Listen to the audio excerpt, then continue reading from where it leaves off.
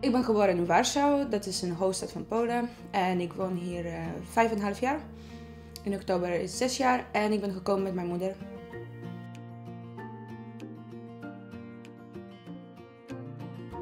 De eerste momenten waren hier niet zo fijn. Ik wou sowieso niet verhuizen. Nou ja, mijn ouders waren gescheiden. In Polen ging sowieso mijn relatie niet zo goed met mijn moeder.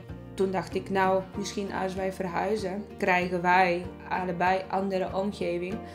En dat die band misschien beter gaat worden. Maar nee, het was helaas. Nee. In het eerste jaar ben ik school gaan zoeken. Maar dat was heel moeilijk, want ik kende niemand. Ik wist niet waar ik ben, hoe werkt. Je werkte ook veel anders. En thuissituatie helpte niet om uh, zeg maar, zich te acclimatiseren. Ja, het was gewoon niet fijn. Ging, uh, ik kreeg geen ondersteuning.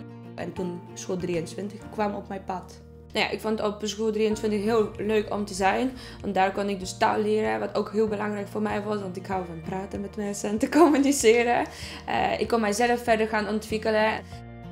Toen ik met school 23 klaar was, ben ik eigenlijk gelijk uit huis gegaan. En dat gaf mij echt heel veel rust in mijn hoofd. Daarna ben ik gaan kijken voor de Summa Horeca en Faciliteer. En toen werd ik bij de beide aangenomen. Alleen bij de Faciliteer had ik wat andere beeld. Dus toen was het heel slechte keuze om uh, toch voor uh, horeca te gaan doen. En ik ben echt blij met die keuze. De studie is heel erg uitgebreid, voedsels en ook gedrag. Dus het is niet alleen uh, bord van punt A naar punt B brengen, maar echt gewoon het indiepen van het gedrag van de mensen. En eten, wat voor allergenen kunnen mensen hebben. En ja, het is heel breed. Dat, was, spreekt mij echt heel erg aan.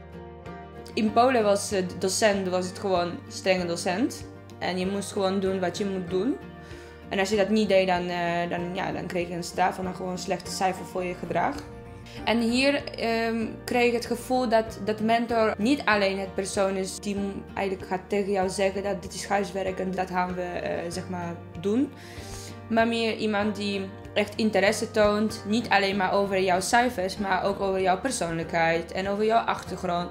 En zeg maar, als ze zien uh, dat je ergens tegenloopt, dat ze daar ook uit gaan halen wat zeg maar oorzaak van is. En daar proberen gaan met je mee op te lossen.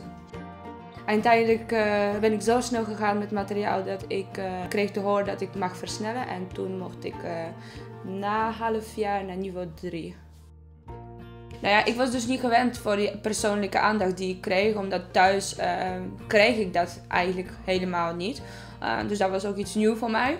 En uh, door het school heb ik dus gaan leren om uh, toch daarmee te kunnen omgaan. Ik zou graag in de toekomst naar HBO willen om een Human Resource opleiding te gaan volgen. Ik denk dat ik daar nog mijzelf ga ontwikkelen. Ja, iedere, iedere nieuwe ding opent jouw nieuwe pad. Dus eigenlijk daarvoor.